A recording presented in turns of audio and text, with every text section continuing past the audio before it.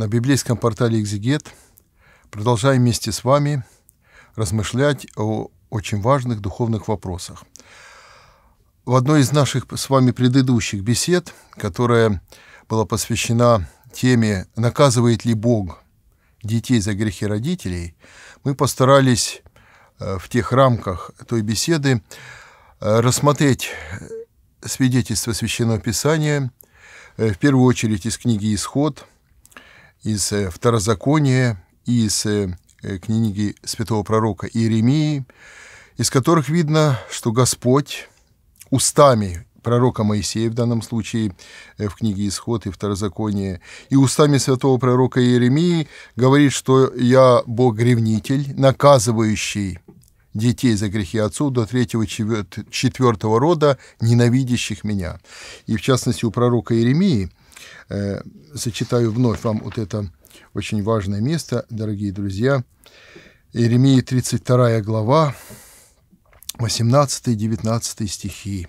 Ты являешь милость тысячам за беззаконие отцов, воздаешь в недра детям их после них. Божий великий и сильный, которому имя Господь Саваоф. Великий совете и сильный в деле, которого очи отверстия все пути сынов человеческих, чтобы воздавать каждому по плодам дел его.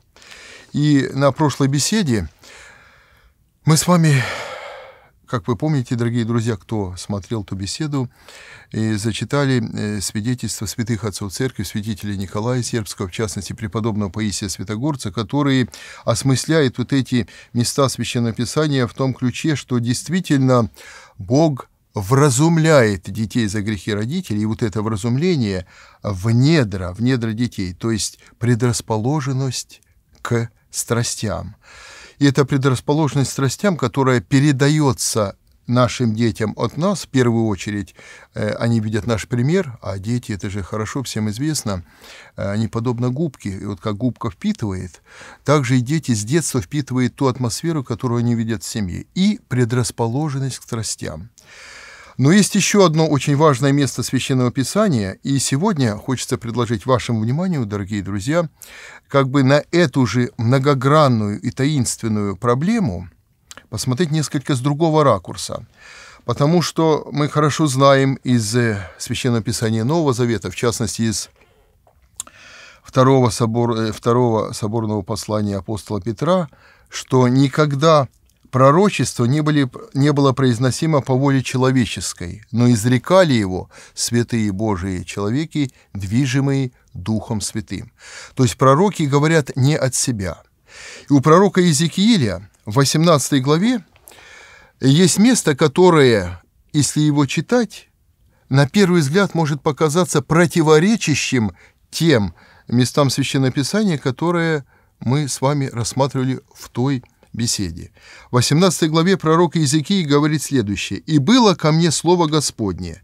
Зачем вы употребляете в земле Израилевой эту пословицу, говоря, отцы ели кислый виноград, а у детей на зубах оскомина? Живу я, говорит Господь Бог, не будут впредь говорить пословицу эту во Израиле, ибо вот все души мои, как душа отца, так и душа сына, мои, душа согрешающая, та умрет».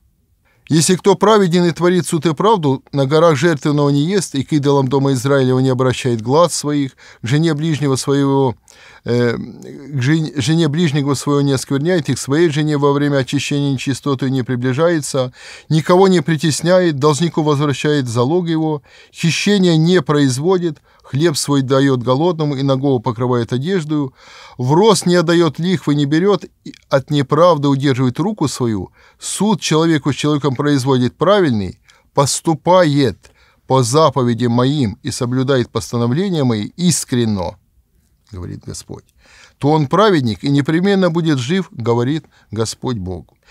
И далее в этой главе подробно пророк Иезекииль говорит, что не поступающий так по заповеди Божьим, и также подробно перечисляются нарушения божественного закона, то такой человек умрет.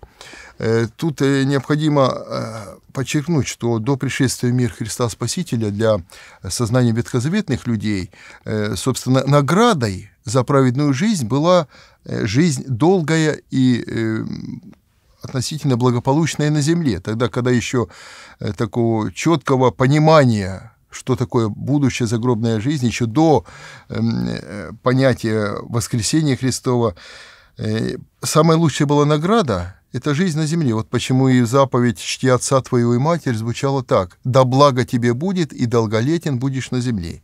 И поэтому в этих словах, что э, душа согрешившая умрет, а душа праведная будет непременно э, жить, и как раз подразумевается благословение Божие человеку, который соблюдает заповеди Божии. И далее, здесь самая главная мысль, которую хочет донести святой пророк Иезекииль что вот эта пословица, которая в тот момент была в Израиле, «отцы ели кислый виноград, а у нас, у детей на зубах оскомина», подразумевала, что люди в те времена, равно как и сейчас, я думаю, дорогие друзья, вы из своей жизни можете множество подобных примеров вспомнить, когда э, дети говорили, вот отцы наши согрешали, вот они ходили к безгласным идолам, они притесняли вдов и сирот, они давали как бы деньги в рост и так далее, и так далее, то есть нарушали ветхозаветный закон, а мы, мы, дети, страдаем за их грехи. Как бы вот произносилась такая аналогия.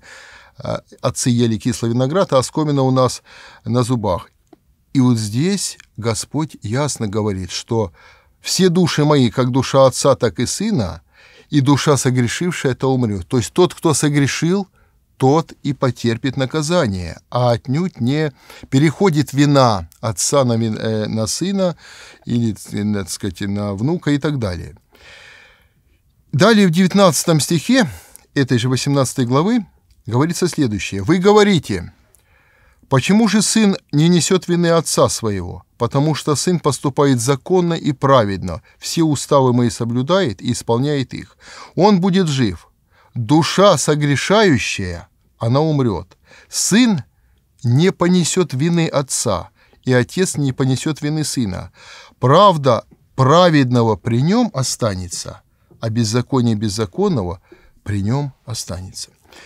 Смотрите, дорогие друзья, если э, подойти к этим текстам Священного Писания, в частности, пророка Иезекииль, как будто противоречит словам святого пророка Иеремии, который говорит следующее. Еще раз зачитаю вам, чтобы э, вы могли сравнить эти два текста и увидеть как бы внешнюю э, разницу этих слов. Пророк Иеремия говорит, «О Господи Боже, Ты сотворил небо и землю великой силой и простертую мышцей. Для Тебя нет ничего невозможного. Ты являешь милость тысячам из-за беззакония отцов, воздаешь в недра детям их после них. Пророк Иеремия говорит, что Господь воздает в недра детей за беззаконие отцов. А пророк Иезекииль говорит, что э, душа согрешающая это умрет, сын не понесет вины отца, а э, отец не понесет вины сына. Как это правильно понимать? Давайте, дорогие мои друзья, вот, может быть, для большей ясности, для наглядности, э, я следующим образом э, вам предложу. Например, если я родился в семье, э, в которой отец страдал, например, страстью э, гнева. Есть одна из, таких, э, одна из страстей – это гнев. И если в гневе, в состоянии ярости, так сказать, неудержимой, например, мой отец совершил какое-то преступление и убил человека. Разумеется, что вина моего отца не ложится на меня. То есть Бог не будет меня наказывать за грех моего отца, потому что грех отца – это его личный грех, и он понесет вину за э, свое преступление, за свой грех. Я же, будучи его сыном, не буду наказан Богом за его грех, но предрасположенность к страсти гнева у меня будет. То есть я могу родиться в этот мир, имея уже предрасположенность к этой страсти, равно как и к другим страстям. И если я, например, буду говорить, вы знаете, у меня такая наследственность, я человек горячий. Э, пожалуйста, не подходите ко мне, а то под горячую руку я за себя не отвечаю, я могу все что угодно сделать, потому что вот мой отец был очень гневливым, вспыльчивым, и я такой же, ничего с собой поделать не могу, э, но я за себя не отвечаю, и я ни в чем не виноват, потому что ну, вот, вот я таким родился, у меня такая наследственность, я другим быть не могу. Поэтому если я что-то сделаю, я за себя не отвечаю. Вот сказав так, я поступлю неправильно. И слова Божии устами пророка мне говорят, что вину, вину отца, вина отца не переносится на сына. Бог не будет наказывать сына за вину отца, но и э, сын не должен оправдывать себя тем, что у него дурная наследственность, потому что каждый ответит за свои беззакония. Поэтому если я даже имея предрасположенность к какой-то страсти, в данном случае к страсти гнева, я буду совершать преступление, то я буду наказан Богом за свое преступление, а не за преступление своего отца и своих предков.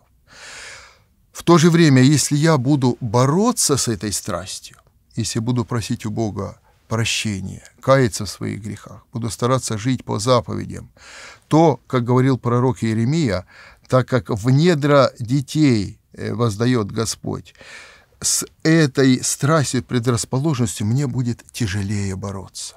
Понимаете, в чем разница? Мне будет намного тяжелее бороться со страстью гнева, но бороться я смогу с Божьей помощью. Господь мне поможет. Но если я буду совершать преступление, то буду я наказан за свои грехи, а не за грехи своих отцов. И по такой же аналогии посмотрите на любую страсть. Самый яркий пример, можно сказать, хрестоматийный, который понятен, ну, наверное, даже людям вообще далеким от всякой религии. Например, страсть пьянства. Разумеется, что в семье людей, страдающих алкоголизмом, э, ребенок рождается с предрасположенностью к этой страсти. И, конечно, борьба с этой страстью у ребенка, когда он будет уже во взрослом возрасте, да, более-менее отвечать за себя, с этой страстью ему будет бороться тяжелее. Но это не значит, что он имеет право сказать, ну вот у меня такая наследственность, у меня и отец и пил, и дед пил, и поэтому я не могу не пить. Принимайте меня таким, какой я есть, ничего не могу с собой поделать. Вот так говорить нельзя. Потому что не можешь ты говорить, отцы ели кислый виноград, а у нас на зубах оскомина. Например, мой отец был пьяница, и я обязан быть пьяницей, по-другому я не могу, ничего не могу с собой поделать. Вот так ты говорить не можешь, потому что Слово Божие, Дух Святый устами пророков говорит, что Отец, Отец будет страдать за свои грехи. Душа согрешившая, она умрет. Сын не понесет вины отца, отец не понесет вины сына. Правда праведного при нем останется, и беззаконие беззаконного при нем останется. Э, тоже очень интересно в контексте вот именно этой э, главы пророка Иезекииля, э, немножко отступая от темы, о которой мы говорим, вот это место очень известно, потому что общаясь с нашими уважаемыми соотечественниками, которые ну, в силу, может быть, неопытности своей попали в липкие сети сектантского заблуждения, в частности, в секту свидетелей Иеговы.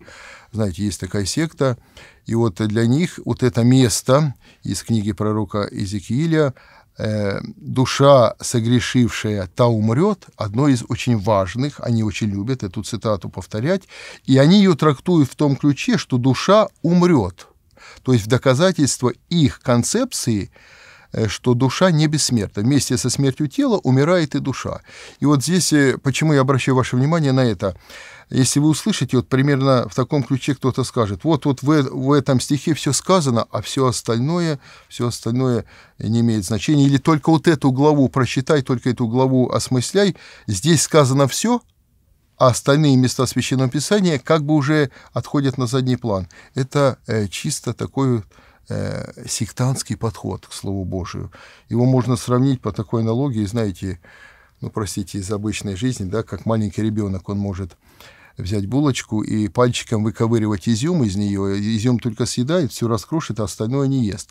К священному писанию мы, православные христиане, не относимся так, что, допустим, только одна глава или только один стих все объясняет, а все остальное значение не имеет. Почему? Потому что святой апостол Павел во втором послании к Тимофею говорит, все Писание богодухновенно. Все Писание богодухновенно и полезно для научения, для обличения, для исправления, для э, наставления человека, чтобы был э, человек э, совершенен. Вот, дорогие мои друзья, мы с вами вот эту многогранную, таинственную, тему «Наказывает ли Бог детей за грехи родителей?» Постарались рассмотреть с двух сторон. И еще раз напомню, э, что наказание следует понимать как вразумление. Действительно, Бог вразумляет детей за грехи родителей.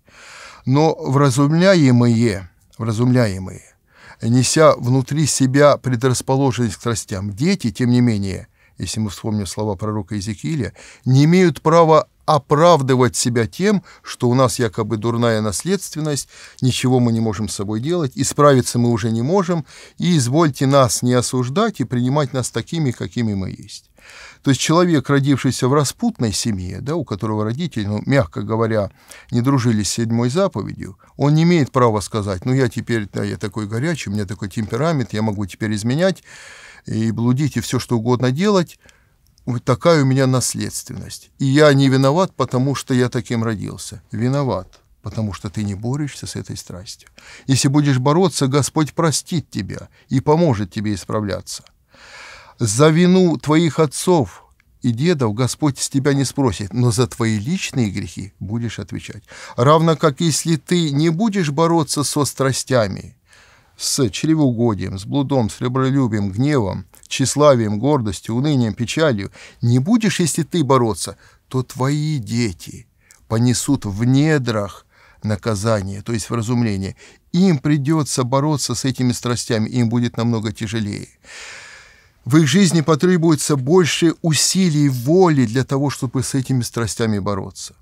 Поэтому на самом деле святые пророки Божии друг другу не противоречат, равно как и святые отцы церкви друг другу не противоречат. Все говорят нам о том, что да, действительно, Бог вразумляет, наказывает детей за грехи отцов.